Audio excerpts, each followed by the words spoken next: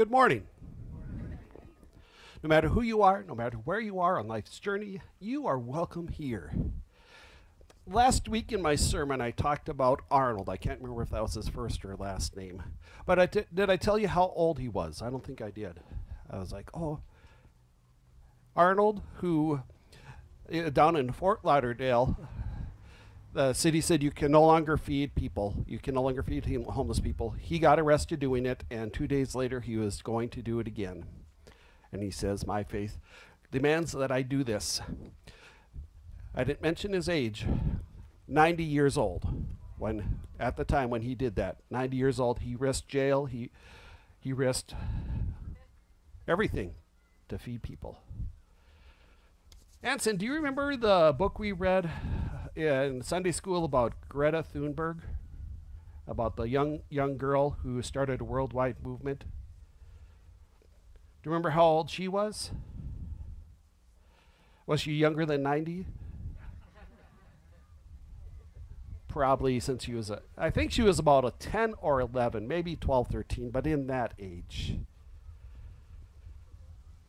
Tells us that no matter who we are, no matter where we are, God can use us. God can speak through us. God can move through us.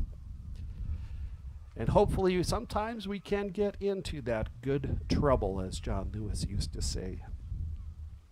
Let us come into worship. Let us remember and give thanks for the saints in the Bible and for those today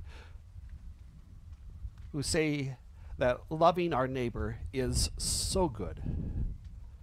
And I will do it no matter what. Let us come into worship so that we may be filled with that spirit, so that we may be filled with that love so that we may see the world with eyes new. All who are able are invited to rise and let us join together in our opening hymn. Every time I feel the Spirit. Nancy, come up and help sing. All right, we got a little bit of a challenge. We want you to move on this. This is not going to be sung Minnesota North nice and stiff. We're going to move on this. Start left.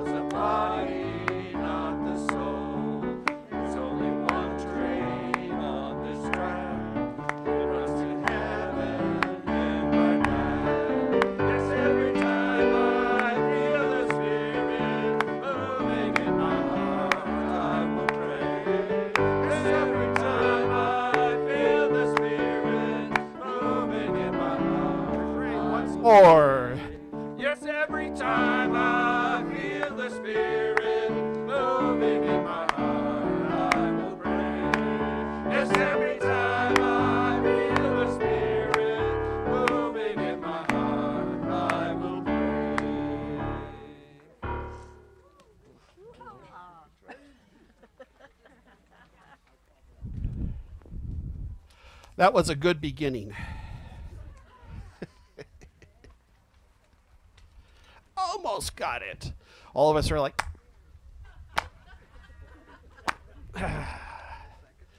we'll get it. We'll get there. And just like we can be out of sync when we're singing a tune or out of sync with the beat of the song, so we can be out of sync with God's kingdom, with God's love, with God's will. And that's when we lament. That's when we say, Oh God, we were so close, or Oh God, we're so off beat. We need to get into harmony. We need to get together. We need to come. Let us join together in our unison prayer of lament. God of justice, God of liberation, Jesus taught us with great power comes great responsibility. We read the stories of the Bible that often show us that power corrupts. The fate of our world is controlled by a relative few in power, and they are using it to enrich themselves. Too many are in need, and too little is done. Rouse yourself, mighty Redeemer, and set the world right. Rouse yourself, loving shepherd. Protect those are powerless and in need. Rouse us, fountain of living waters. And may your kingdom come, your will be done on earth as it is in heaven. Amen. Even when we are out of beat, God still listens to us, and just like a parent listening to a recital that's not quite there, does it with love and patience. Let us come into the words of comfort. You desire truth in the inward being, therefore teach us wisdom in our hearts.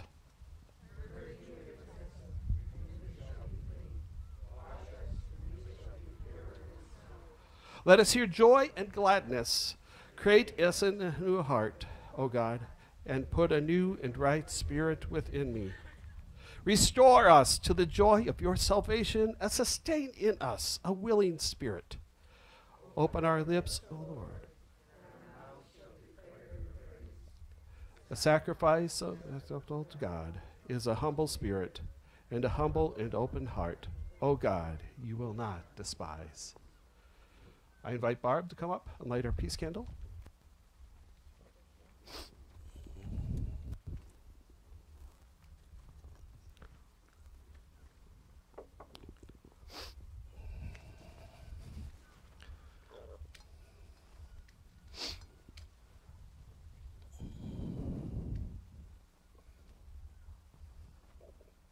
It is lit.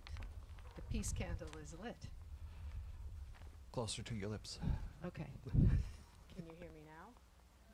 No. Like this. Rock star. It is a custom in our congregation to light our peace candle during worship. Are you hearing me? Oh, it is a custom to use a microphone. It is a custom in our congregation to light our peace candle during worship as a witness to the Prince of Peace and our communal intention to be peacemakers as a just peace church. Read to yourselves as I read out loud this piece by Sara Teasdale called Peace. Peace flows into me as the tide to the pool by the shore. It is mine forevermore. It ebbs not back like the sea. I am the pool of blue that worships the vivid sky. My hopes were heaven high. They are all fulfilled in you. I am the pool of gold when sunset burns and dies. You are my deepening skies. Give me your stars to hold. May we pass the peace to one another and offer a star. Peace, peace, peace.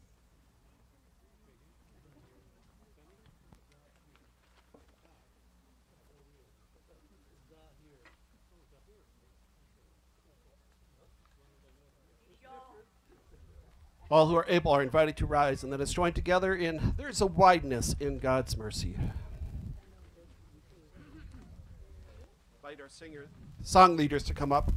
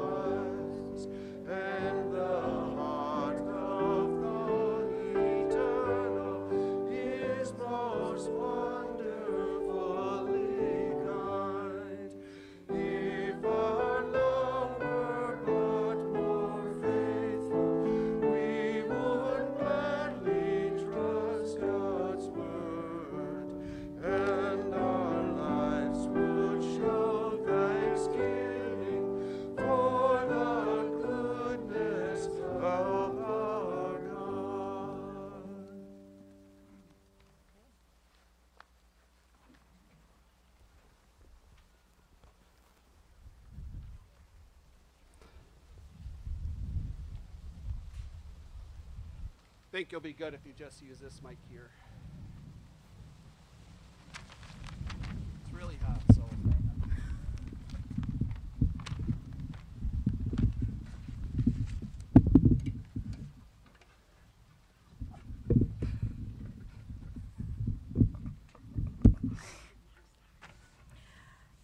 The first reading comes to us from the Gospel of John 6, 24 through 35. The Gospel of John was the last of the four Gospels written after Mark, Matthew, and Luke. The writer of this Gospel takes the slow approach with using seven miracle stories only. After last week's miracle of the feeding of the 5,000, Jesus talks to the crowd about bread and what truly fills us and what leaves us wanting more. Here begins the scripture. When the crowd saw that neither Jesus nor his disciples were there, they got into the boats and came to Capernaum looking for Jesus.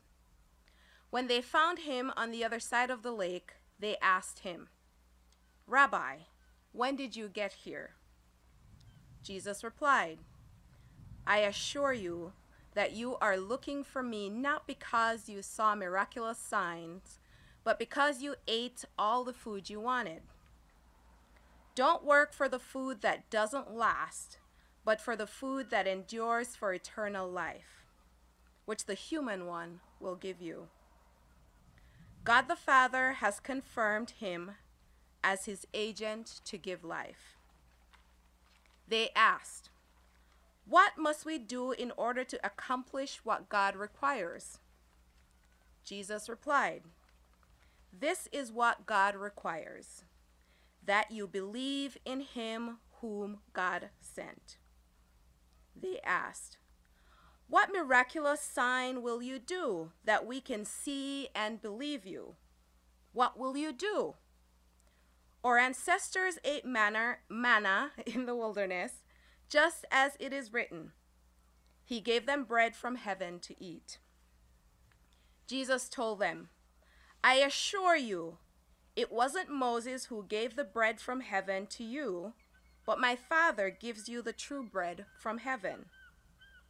The bread of God is the one who comes down from heaven and gives life to the world. They said, Sir, give us this bread all the time. Jesus replied, I am the bread of life. Whoever comes to me will never go hungry, and whoever believes in me will never be thirsty.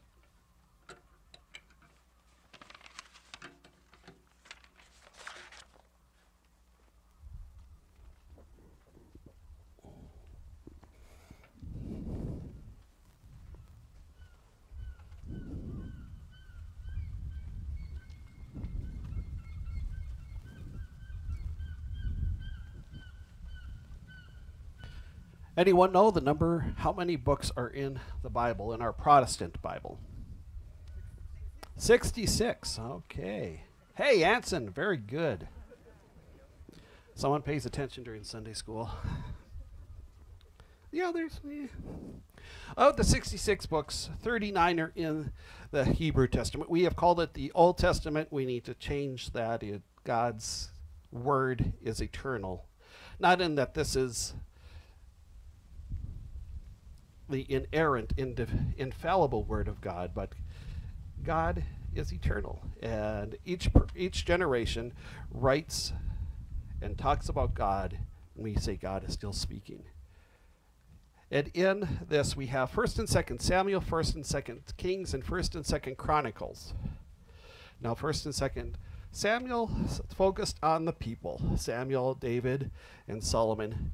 And then First and Second Kings and First and Second Chronicles said, well, you got some of it right, but we're going to rewrite it. So we basically have six chapters that are six books that basically tell the same story. Because they saw it from different viewpoints, from different times, from different places. That's what the Bible is. It's 66 books of people trying to figure out who God is and what is happening. And how does that apply to the situation they live today? We're reading from 2 Samuel. This is King David. He's now, everything is now nice. He's now in Jerusalem. The, the Ark of the Covenant is there. There is times mostly of peace and prosperity. Reading from verse 11, chapter 11, verses 1 through 15. Or no, that isn't the one you guys are reading, or is it? 26, I'm sorry. Flip the page. There we go. When the wife of Uriah heard that her husband was dead, she made lamentation for him. When the mourning was over, David sent and brought her to his house, and she became his wife and bore him a son. But the thing that David did had done displeased the Lord. And the Lord sent Nathan to David. He came to him and said, There are two men in a certain city, one rich and the other poor. The rich man had many flocks and herds, but the poor man had nothing but one little ewe lamb, which he had bought. He brought it up, and it grew with him and his children, and it used to eat at his, of his meager fare, and drink from his cup, and lie in his bosom. And it was like a daughter to him. Now there came a traveler to the rich man, and he was loath to take one of his own flock or herd to prepare for the wayfarer who had come to him.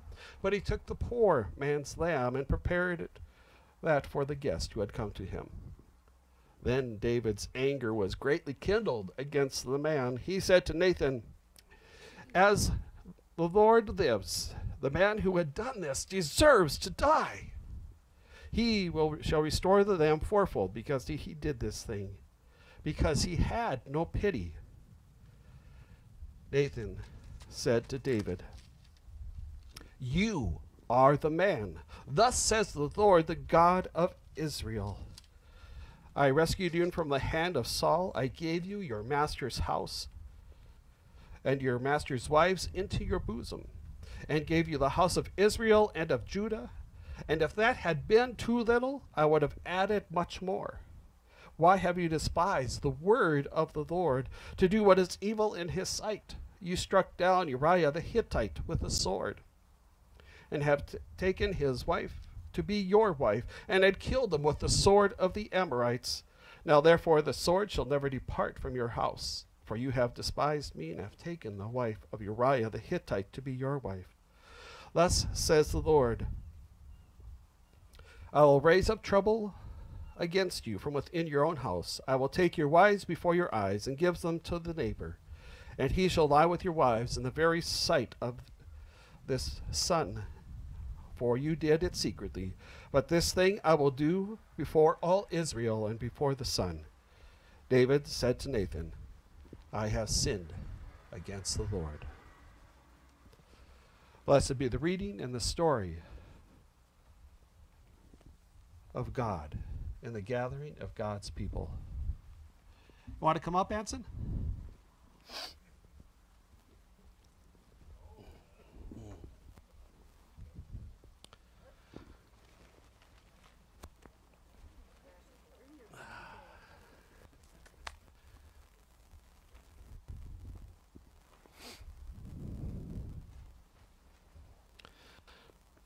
Do you like comics?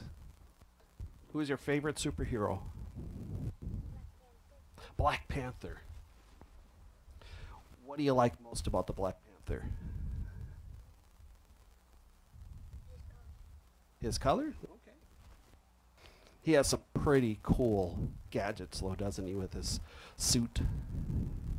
And he's really strong. And he's also a king. It's not bad to be king, is it? But what's the difference between the Black Panther and let's say Loki? Because Loki probably has more magical powers and he's he's not even human, so he's probably stronger in some ways. You don't know Loki? Okay, uh, who does the Black Panther fight against? What is it? Uh, who's a supervillain?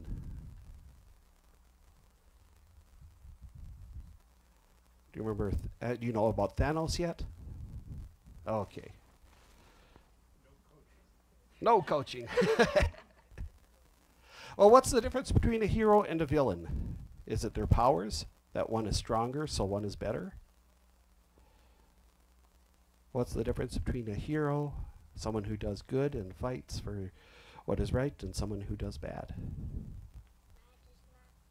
Bad is not good. Because the bad guys often just fight for themselves, right?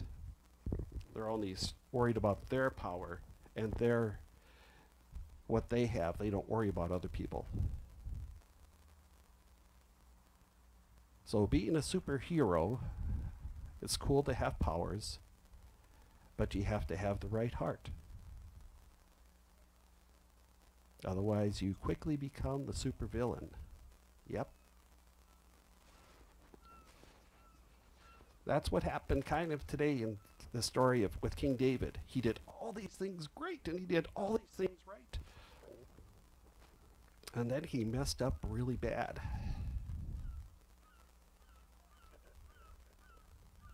And so God sent someone to talk to him and say, told him a story. And in that story, he was convicted. He was brought to realize that he did something really bad. But he was able to repent and say, I, I did the wrong thing. He admitted it, so he became good again.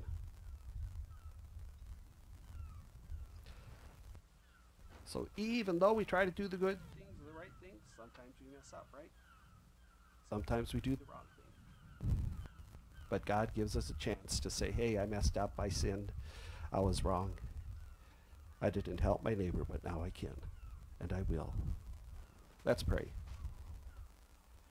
Dear God, thank you for all the things we have and all the things we can do and all the things we will learn. But help us to use it for good. Help us to use it for love. In Jesus' name we pray. Amen. Thank you for coming up.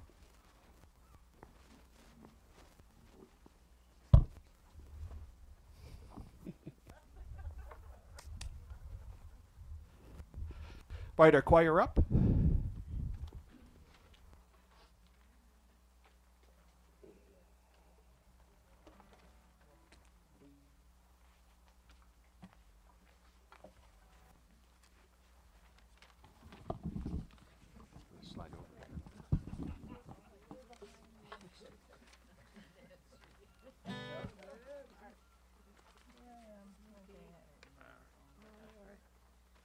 All right. Well, uh, our fearless leader, Anne, is going to visit her grandnephews and nieces and grandchildren and, and seeing her sisters, some of her sisters, what she hasn't seen for a long time down in the Twin Cities. So it fell upon me. So, so that we got a great group here, um, and they, they did their best under my poor tutelage.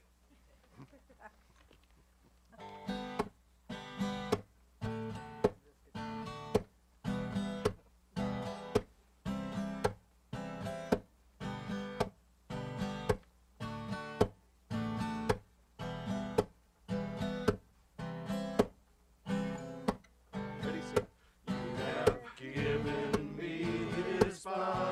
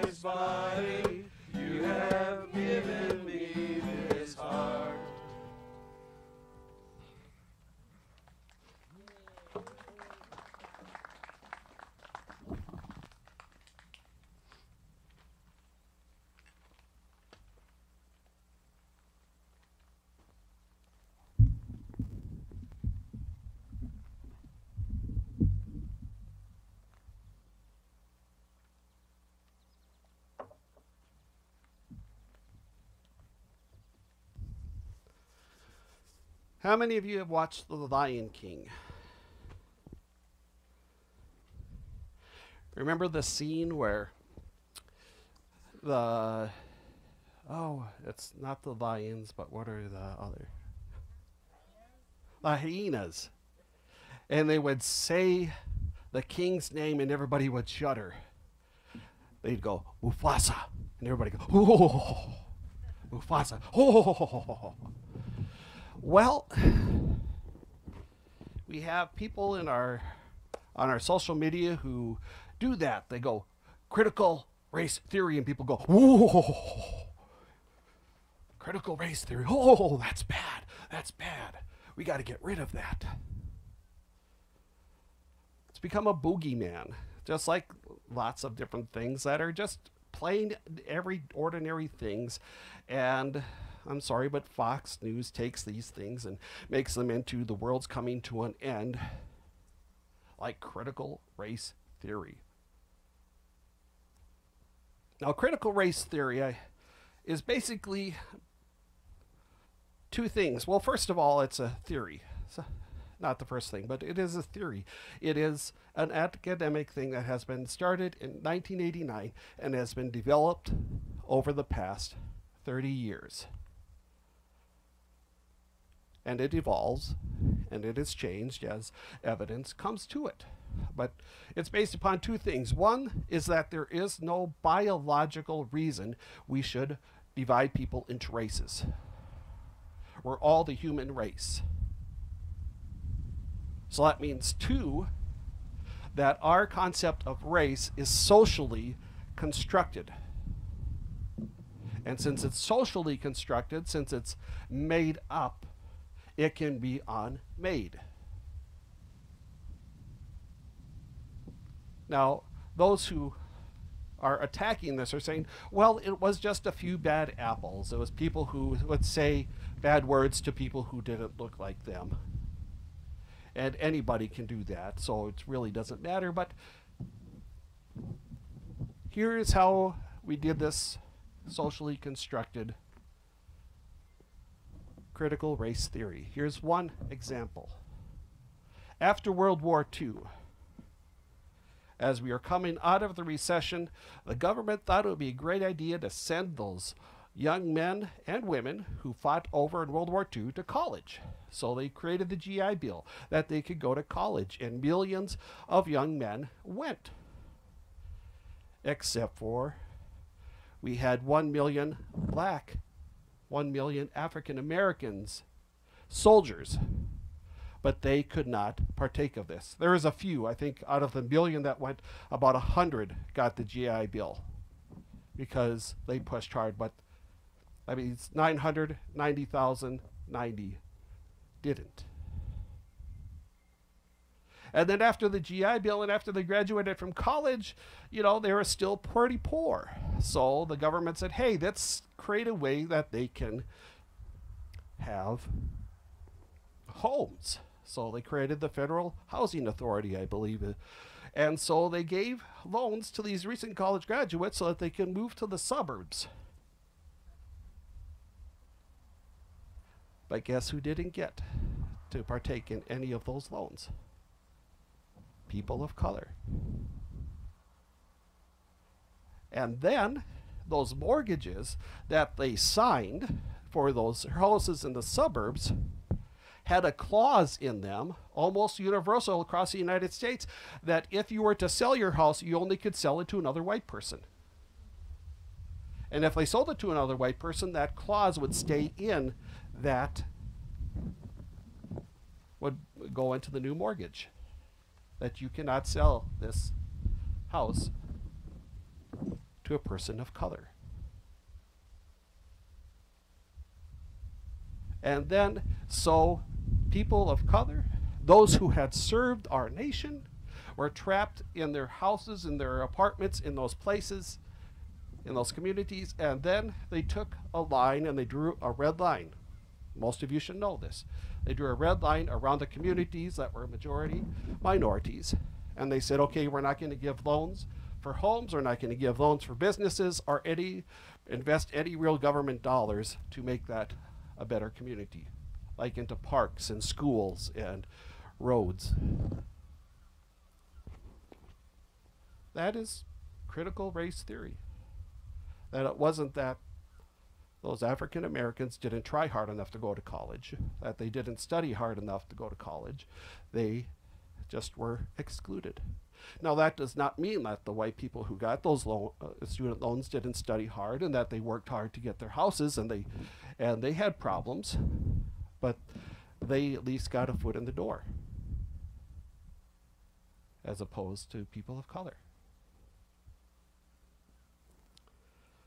So since the 1980s, it's always been around, but with Ronald Reagan and John Wayne, we got this myth of individualism that it is all everybody pulled themselves up by the bootstrap. And that Jeff Bezos today, well, you know, he, he, he, he packages every one of those uh, packages that are sent out, and he's right there on the line with the rest of them, working harder than everybody. That's why he's worth 200, 300, 400. Well, he got divorced, so, you know, half of, but he's still worth a few hundred billion dollars. And if you work hard enough and if you're smart enough, that can happen to you too. Or not. So we have this myth of individualism that directly is opposed to God's kingdom. God's kingdom. God's love, that we are called to love our neighbor. We are called to clothe and feed our neighbors. We are called to care about what happens in our wider community, not just what happens to our own bank accounts, our own properties, our own people who think like us or look like us.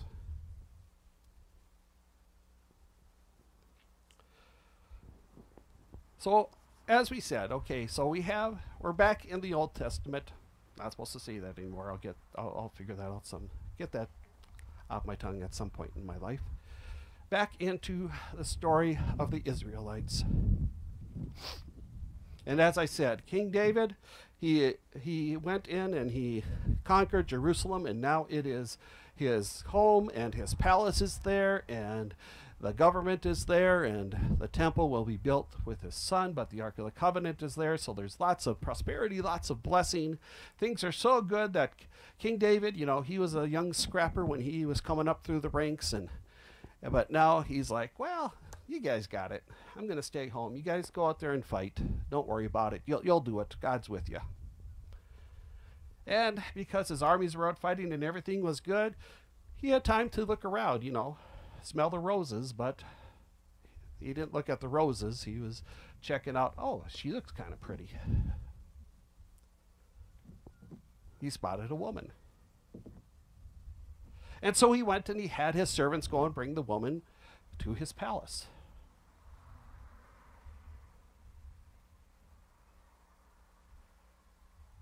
And that night after supper or after a few days, he lay with her. And then he kicked her back to the curb and she went back to her house. But this thing happened that she got pregnant. So he decided, well, okay, here we go. I'll just uh, summon summon the her husband home and said, hey, uh, yeah, give me a report. Okay, well, you know, you're home. Why don't you go home?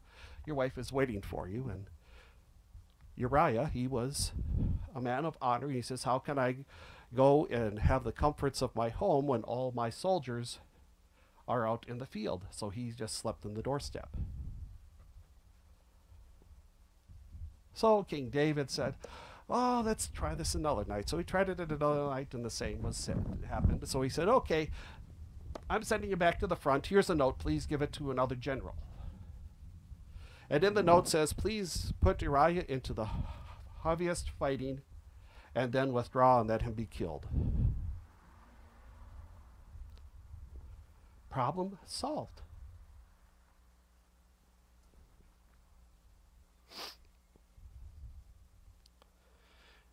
Now we know in that day and age,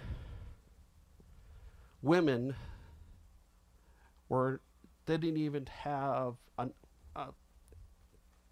a little bit of what women have today in terms of freedom.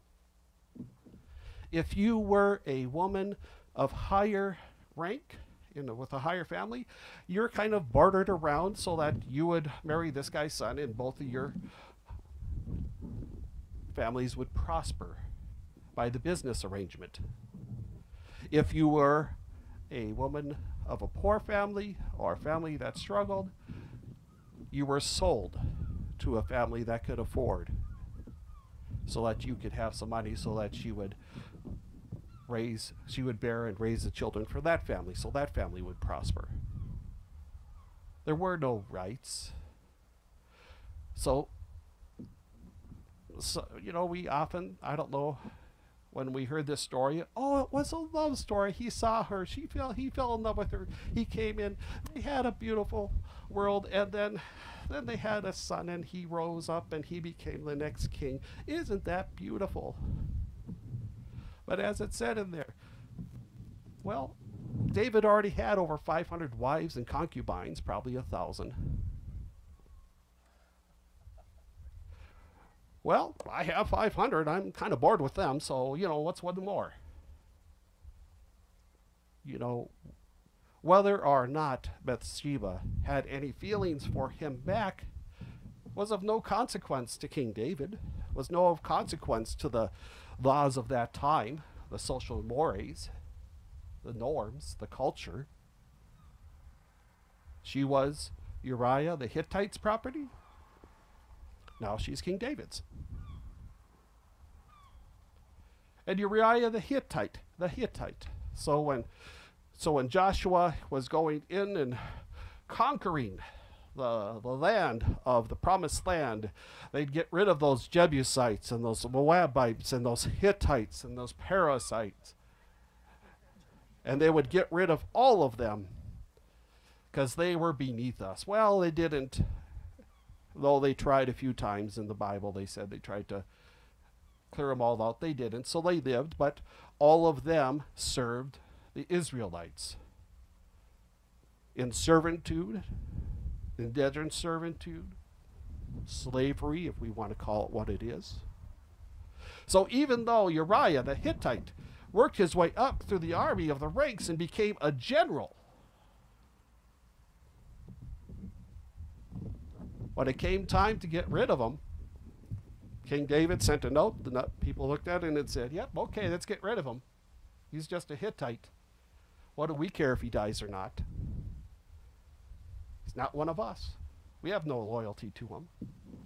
We have no compassion, no ethics that say that to ask why is this happening. There was nothing in their laws, there was nothing in their religion at the time to really go against this except for Nathan the prophet who comes and talks to King David about a rich man and a poor man, a man with whole flocks of sheep and a man with a single little lamb that has it stolen from him. Now, at the end, David says, Oh, I confess it was me. And then the next line is, is he went to jail. Nope, it wasn't. I mean, he got punished that he had to stay in his palace for the rest of his life. He wasn't allowed to go out with his armies anymore, which which he did got him into trouble in the first place. He didn't lose his lands, he didn't lose his money, he didn't lose any other of his wives. He he didn't even lose Bathsheba. But he was sorry in his heart.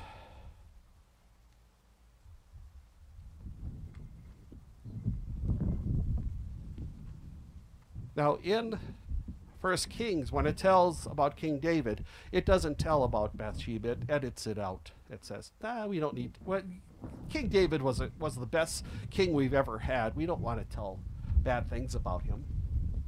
So we're just going to edit that story out. We're just going to ignore it. We're just going to throw it away. And they did. First Chronicles said, hey, that sounds good.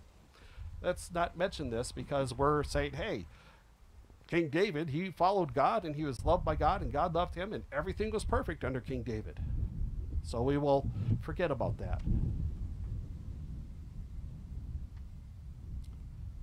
When the early Europeans came to America, we looked at the Bible for inspiration. Well, guess what? America is the new promised land. And just as the Israelites went in and moved out the rest of the people living there so that they could live, it's a God given story, so we can do it's our God given right. So we came in and we displaced, stole, murdered from the indigenous First Nations. And then we decided we were not quite ready to do all the work that necessary to be done, and so we started bringing in slaves. Well, Israel, King David had slaves. King David had, so we can have slaves as well.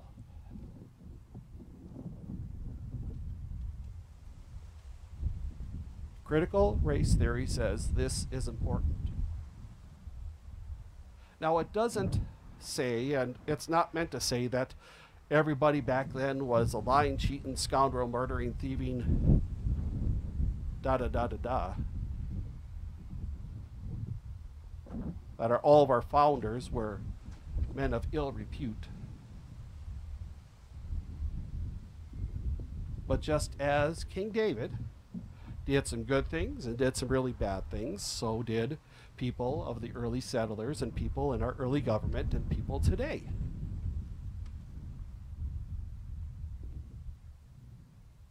It's not black and white. That either everybody's all good and everything they do is good, or people are all bad and they'll never get ahead. So we are all children of God.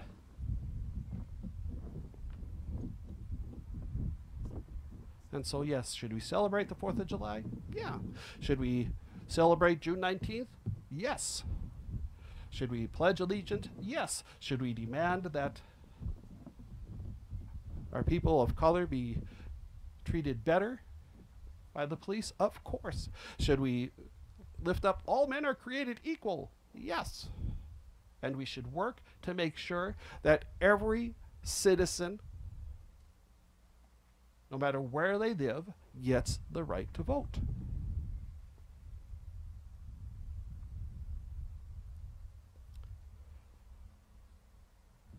They're using that critical race theory and other things as Mufasa. Watch out, otherwise it's going to get you. So we have to put in all of these new laws for voting because otherwise Mufasa might take over. Mufasa might come whether it be socialism or communism or it's interesting how we are not scared of Muslims as much as we used to be 10 years ago. But this is the current thing to make us afraid, to make us separate ourselves by the socially constructed ways that there are white good people who are proud Americans, and then there's the rest who are good enough for the minimum minimum wage and to serve us, but they need to be controlled and watched over.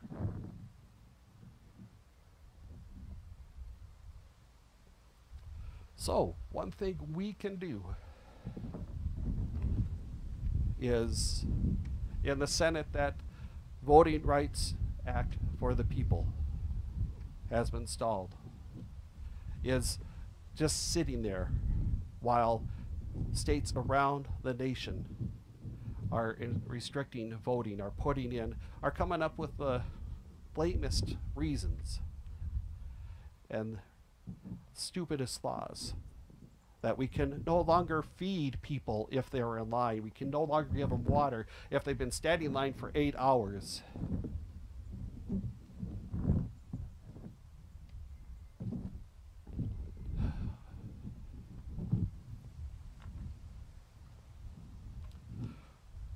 So we're supposedly live in a democracy. Do we have the power to do what is right? Do we have the will?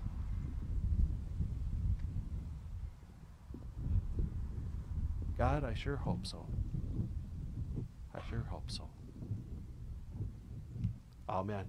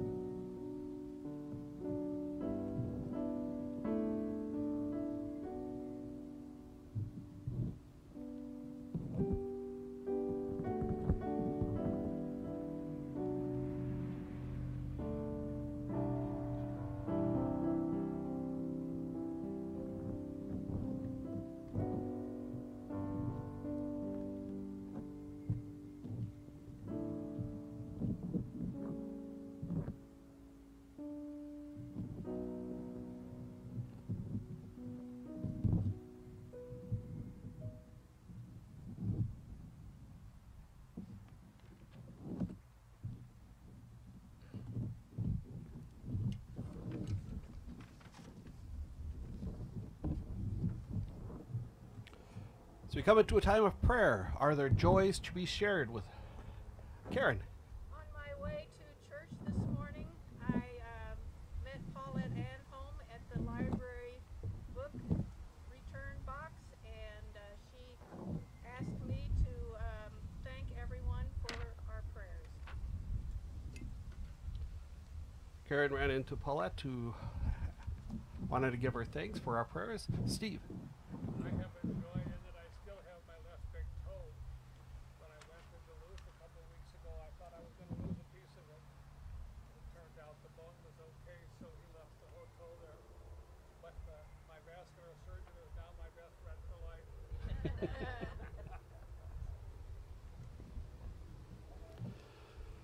Uh, prayers for good, good surgeons. Thanksgiving. Steve Nielsen is home. Steve Nielsen is home.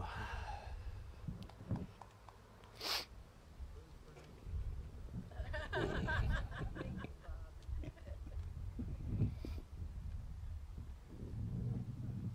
was in Duluth this week, and I got a good report from my doctor. John got a good report from his doctor as well from Duluth.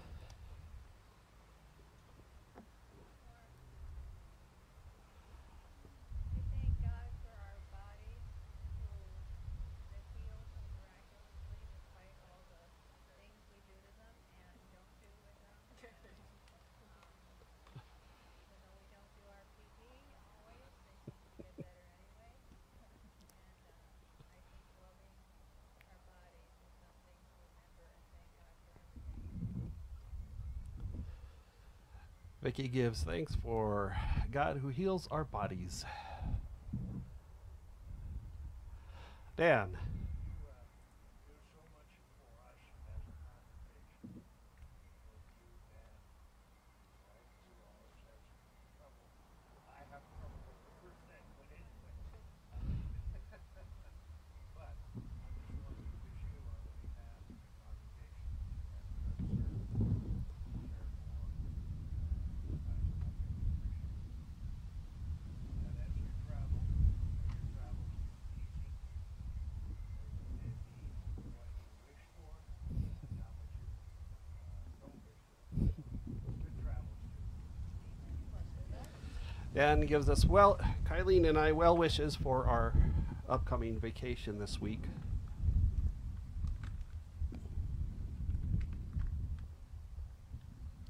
Any others?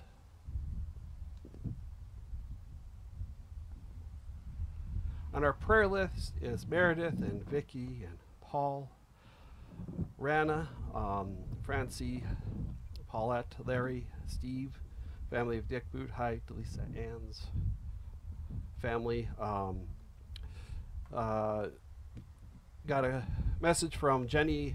uh, She's on call this week, so she's probably at the hospital right now. But her her friend Otis, who we have been lifting up a little bit, uh, passed away.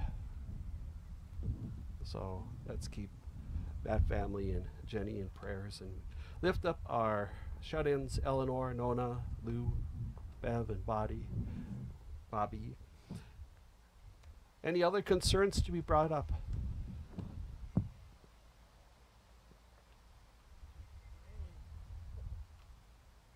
Rain.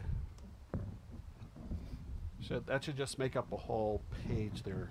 Rain. Prayer needs.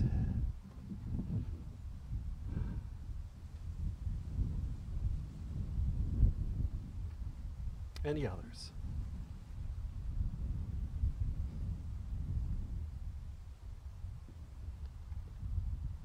Let us come into prayer.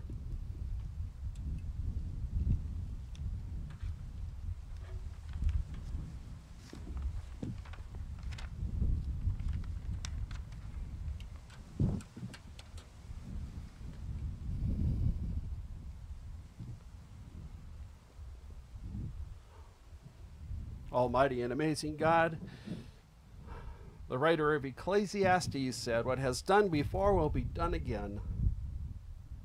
What has happened happens now and will happen again. That there is nothing new under the sun. Help us to prove that wrong. help us to prove that there is a time in our present and in our future where the rich and powerful will no longer be so emboldened and crass to take land, property, and people from one another. That there will be a time when all will be valued and your earth itself will be valued. There'll be a time when we're all brought before you, brothers and sisters, all caring for each other, feeding each other, loving each other, helping each other.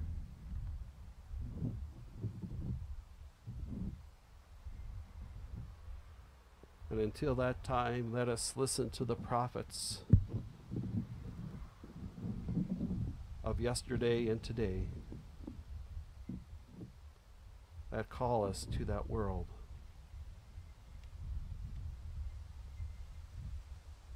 And help us to act.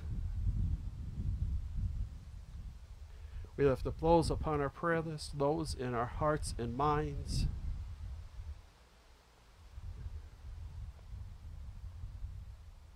And we lift up your planet that we may truly repent, that we may turn to heal the lands, the waters, all life, so that rain may fall, so that habitats and forests and plains may thrive. There be enough for all. Hear us as we pray the prayer as taught by your Son. Our Father, Mother God, you are in heaven. Holy is your name. Your kingdom come. Your will be done on earth as it is in heaven. Give us this day our daily bread, and forgive us our trespasses, as we forgive those who trespass against us. And lead us not into temptation, but deliver us from evil. For yours is the kingdom, and the power, and the glory forever. Amen.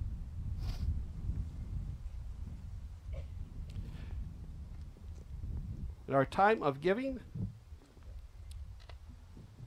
it is time to practice. Okay.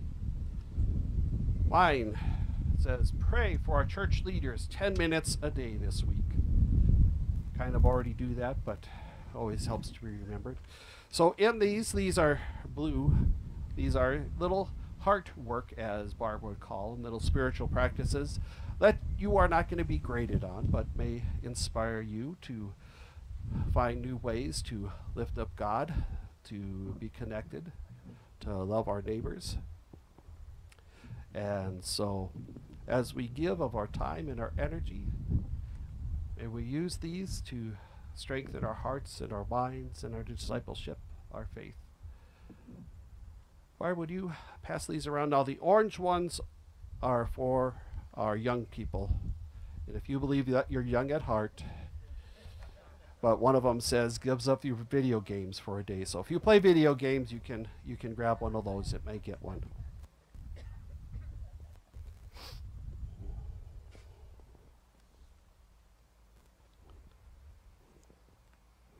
And I just lost the other piece of paper that I ah oh Bob got it. That's what you were running after.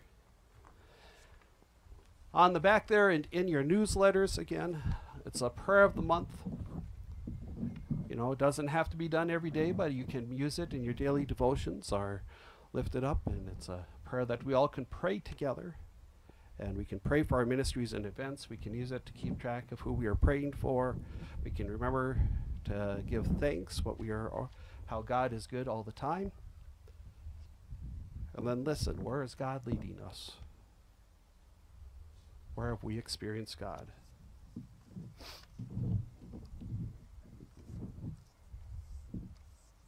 Talked about at the board, the directors retreat about how we can grow our church because, of course, we have to grow our church. But if we do it the right way, not by bringing in consultants, not by advertising, not by getting all these programs. We hope people do it, but if we do it the right way, it starts with our hearts. As our hearts grow, then the church will grow. When people see something different in us, they're going to want to be a part of it. When some people see us doing what we profess we should do, they'll want to say, hey, I want to do that too. I want to be a part of that.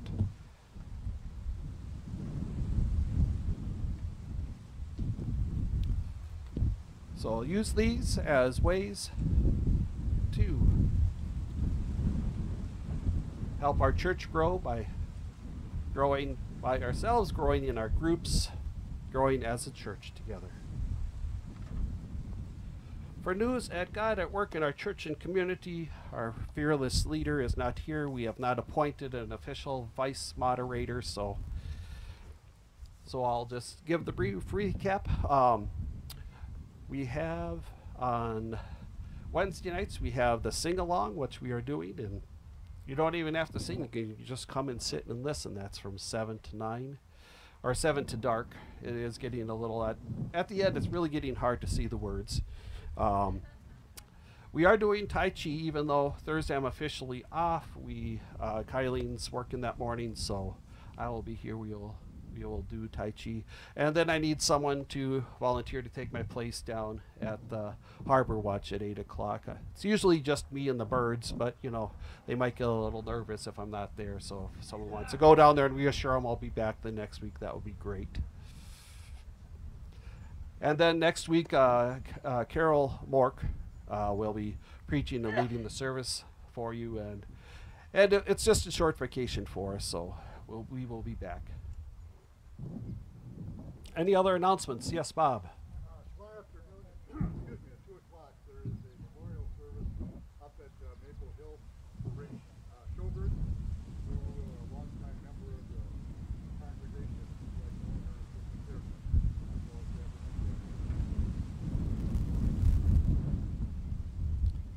There's a graveside service tomorrow afternoon at 2 for Ray Schoberg.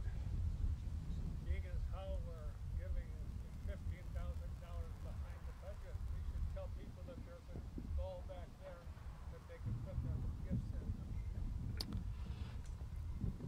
Yes, uh, one of the ways you can help contribute is through your is your pledges and donations and offerings, and there's a basket back there to be given, and we do have online resources as well. And if you're not sure exactly how to do this, Kevin is more than willing to talk to you and guide you through it.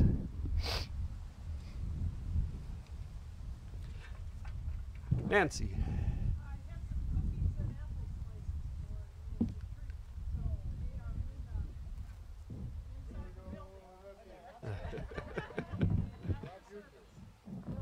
inside the building. Yes, we have app- we have cookies and apples in the back for our coffee hour.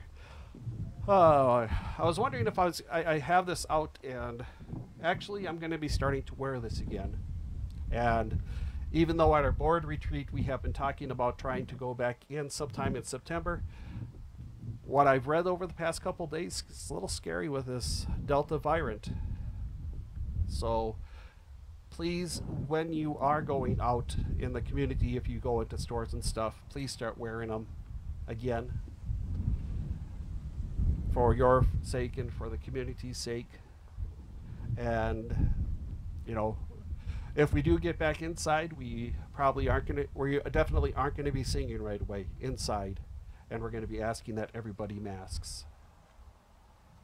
And though we are opening up the building in small ways, if you do have a meeting inside, it'd probably be best if, even though it's not our policy, but that's that's that's uh, going above and beyond the written letter and start masking again. Hopefully, this thing will pass quickly, but that's what we keep saying. It's god awful, but it's the but the only way we do this is by taking care of each other and wearing the mask, getting vaccinated, and doing all the stuff we should be doing to help keep numbers down.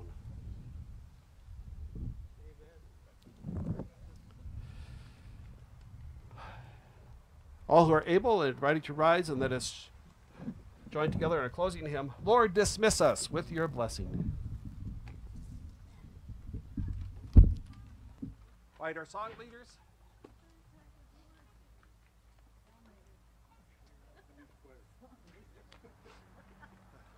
all God's critters.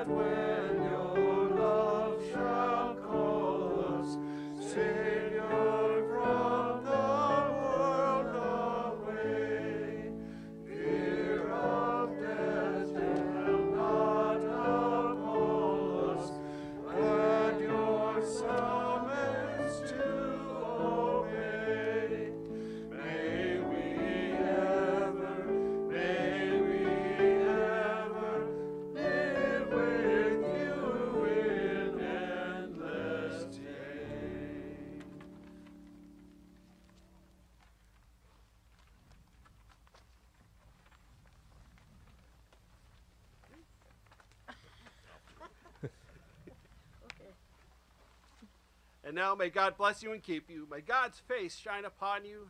May God lift up God's face to you this day, to our planet. Bless us and grant us peace. Amen. Amen. Amen. Amen. Go with God.